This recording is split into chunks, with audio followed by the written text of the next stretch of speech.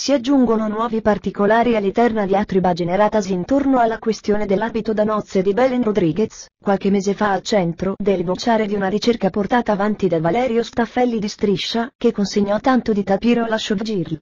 A posteriori le pare in qualche modo apparentemente incolpevole nel merito di una storia in cui la voce circolata sin dal principio era che Belen non aveva pagato l'abito da sposa.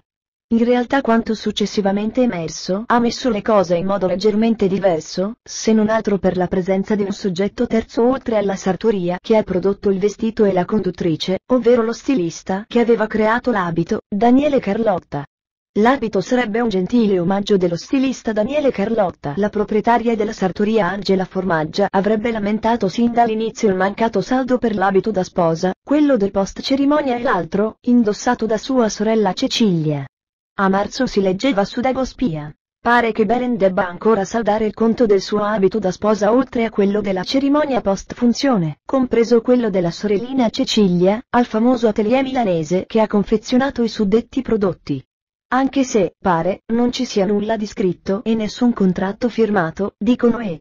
Dal canto suo, parlava nelle stesse ore lo stilista che ha disegnato e di fatto creato gli abiti in questione.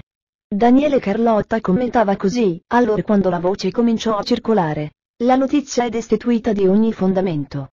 Questo perché tutti gli abiti sono creazioni dello stilista Daniele Carlotta, che ne ha fatto un gentile omaggio.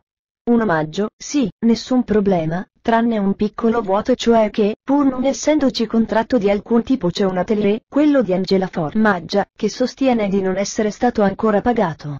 Ad oggi la questione è a un punto morto. Ad oggi, ricontattata proprio da Dagospia la proprietaria ha affermato non vi sia novità di alcun tipo.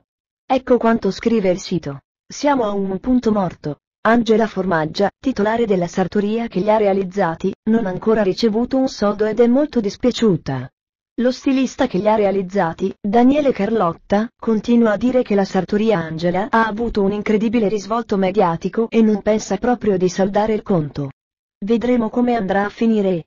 In sostanza, se tutto sembra chiaro, Daniele Carlotta sostiene di aver fatto un regalo a Belen.